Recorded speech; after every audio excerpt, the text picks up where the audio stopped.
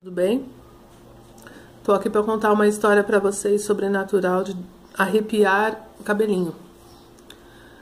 É, eu tô lendo, para quem não sabe, eu ainda vou fazer a resenha do livro, um livro chamado Espíritos Entre Nós, de James Van Prague.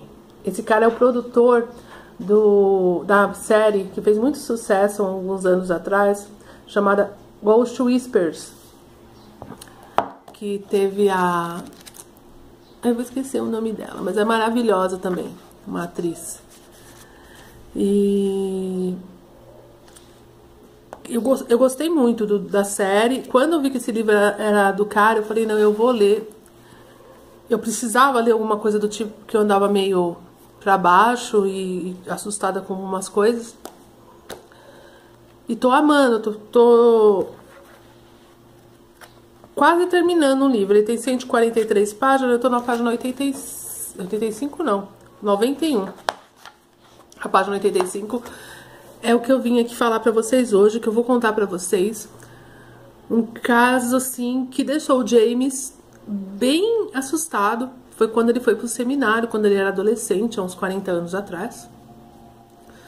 E o seminário era numa mansão é, bem, é, como que eu posso dizer, assombrada. Para quem entrava lá, primeiro, para quem não tem os dons que o, o, James tem, entrava lá, sentia um clima pesado, tudo, mas não dava muita importância. O James, além dele sentir tudo isso que a pessoa sente, ele vê espíritos como se fossem pessoas normais. Às vezes ele vê como se fossem férias, mas ele vê espírito o tempo inteiro. Para um adolescente é bem difícil isso, né? E James foi, já logo que ele viu a casa, já não queria mais ficar lá, mas aí a mãe dele, não, você tem que ir, que não sei o quê. Eu também não sei, não entendi porque que ele quis ser padre, porque ele foi para voluntários. E naquela época existia o, as crianças que queriam realmente ir para o seminário estudar, ser padre, e tem as crianças, tinham as crianças que iam obrigadas pelos pais porque eram crianças rebeldes. Então, ah, já que você não está andando na linha, você vai para o seminário e lá os padres dão um jeito em você. É a mesma coisa com as jovens antigamente, eram mandadas para conventos porque os, eram rebeldes ou porque os pais acreditavam que elas estavam loucas. E muitas vezes não era isso. Quantas pessoas você já ouviram falar que estava com algum tipo de loucura e na realidade a pessoa nada mais era que uma médium e estava vendo espíritos, escutando vozes, etc, etc, etc voltando é, pro caso do da mansão mal assombrada. Então James conta que lá é, escutavam muito barulho, principalmente na adega, de coisas quebrando. E os padres sabiam que a casa era mal assombrada. À noite ele acordava com gritos, com uma mulher pedindo ajuda, falando que um, alguém estava matando uma outra pessoa. E ele viu essa mulher e um belo dia é, foram uns historiadores por lá. O James sentia muita presença do mal lá, na, naquela casa. E certa vez eles estavam fazendo as orações e um monte de barulho de, de coisa quebrando, acho que na adega, assustou eles. Eles continuaram fazendo as orações da missa lá, tudo. E aí quando foi na hora do almoço, eles estavam passando, ele estava passando perto da onde os padres almoçavam e escutou os padres conversando e falando assim. Eles têm que entender que a casa não é mais dele, que eles têm que ir embora. E muitas outras pessoas é, que já tinham passado por lá antes da casa virar um, um seminário já tinham falado que ninguém ficava lá, que todo mundo escutava. Um belo dia foi um grupo de historiadores lá no, no seminário contar o, sobre a casa, tudo. E muitos anos antes, é, tinha uma criança, na época da, que não tinha cura para nada, tinha uma criança que estava com tuberculose. E tossia muito, tossia muito. E o pai, não entendi se era por desespero ou se era por ruindade mesmo, ele fez um laço e enforcou o filho para que o filho se livrasse daquilo, daquela tortura.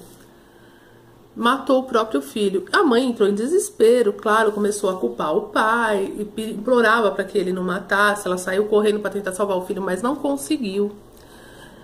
É, se eu não me engano, o pai se matou depois disso. Ela não, não lembra o que aconteceu. É, não vou olhar aqui agora porque são algumas páginas, né? Mas eu, eu acho que ela não, não se matou, não. Deve ter morrido de tristeza. Só que o espírito dela ficou ali na casa.